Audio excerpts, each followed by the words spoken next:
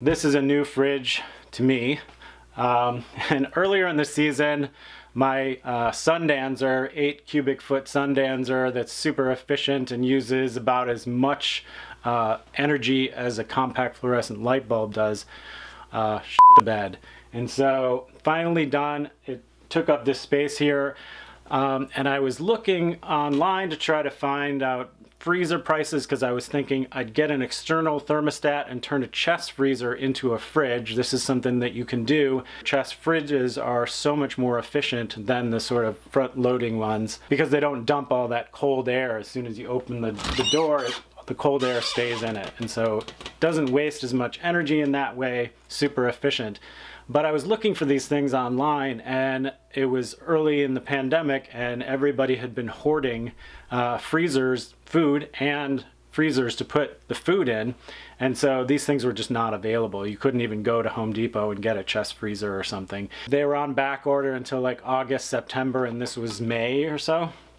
And so uh, it happened that a bunch of people were getting rid of appliances when we did our clean uh, clean day land clean day uh, earlier in the spring. And so all these appliances ended up out there. There were a couple of chest freezers, and then there was this one, just as a chest freezer as well. It's kind of a small one, um, but I thought it looked in good condition, and so I thought I'd do some troubleshooting. These kind of appliances are pretty simple. They don't have a whole lot of components in them, and usually you can do some troubleshooting and find out what the problem is pretty quickly. If it's like the refrigerant in the coils is gone, that's going to be too expensive usually of a fix because it usually means there's a leak that's really hard to fix. But if it's not that um, there may be some other simple component that you just have to replace.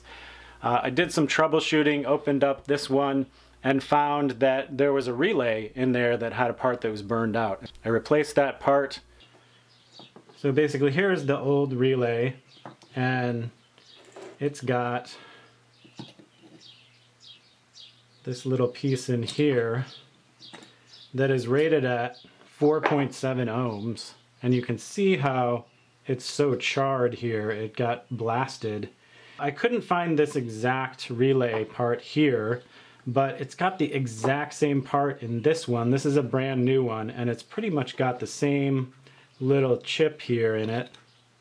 And all I have to do is take this one out of this supposedly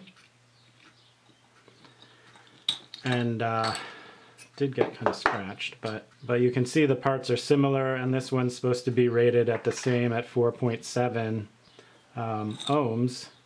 All right, well since this got kind of charred and fried in the process last time, when that part went, I'm gonna do a little wire brushing here to get any kind of residue off of it from the charring clean it up so that we get better connection. And then we'll put it back in. Yep, that one's all clean.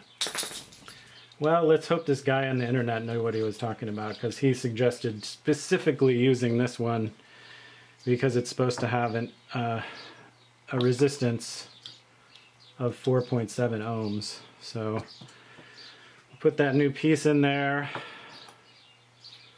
get this closed up again.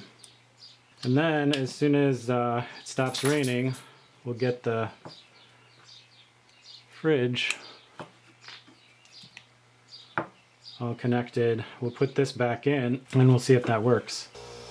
So I got everything put back in, turned it on, kicked right on, started refrigerating. I actually found that I didn't need to get an external thermostat for this like I was planning on because if you set it low enough, it stays at refrigerator temperatures. So that was another big break.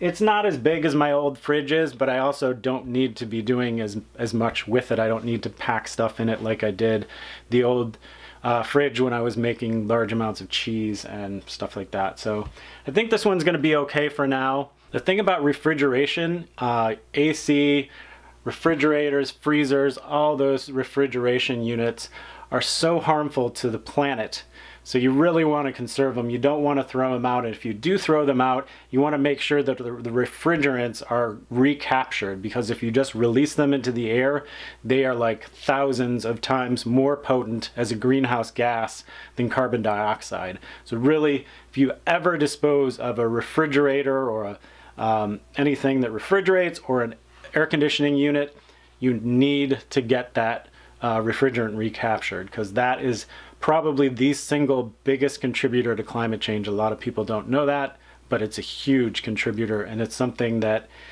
it's fairly simple to capture it and uh, and then it can be reused. It's always better to uh, reuse something and, and save it from the dumpster uh, if you can, and especially refrigerators.